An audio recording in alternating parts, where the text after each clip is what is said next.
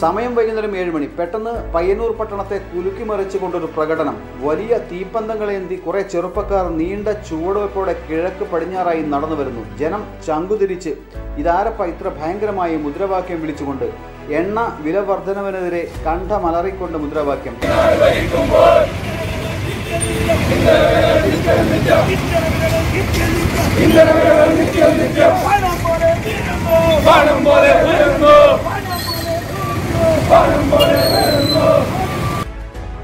ആർപ്പ് വിളികളോടെ ഏറ്റുവിളി.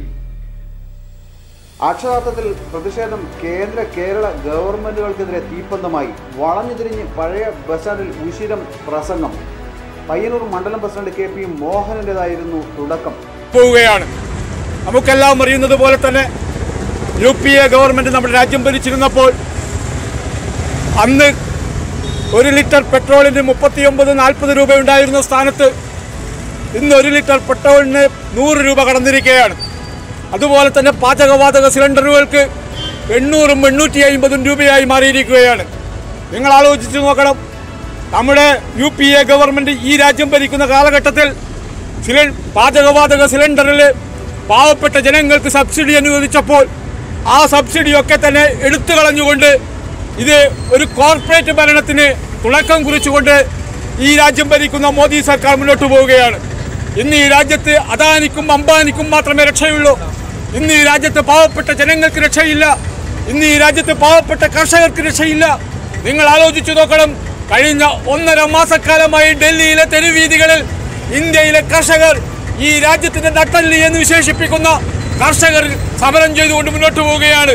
നൂറുകണക്കിന് കർഷകരുടെ ജീവൻ ഡൽഹിയിലെ തെരുവീതികളിൽ പൊലിഞ്ഞു പോയിരിക്കുകയാണ് ഇന്ന് രാജ്യം ഭരിക്കുന്ന നരേന്ദ്രമോദിക്ക് ഈ രാജ്യത്തിലെ കർഷകരുടെ പ്രശ്നങ്ങൾ തീർക്കുന്നതിന് വേണ്ടി സമയമില്ല.